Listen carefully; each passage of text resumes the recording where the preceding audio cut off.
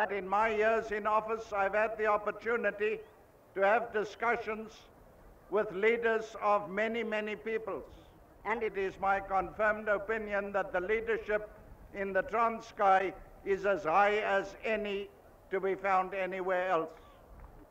You are as independent as any other country in the world wants to be. A well ordered, peaceful state.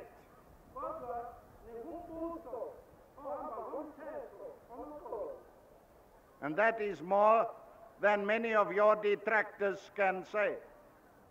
It was indeed for my wife and myself a great pleasure to again see your beautiful country.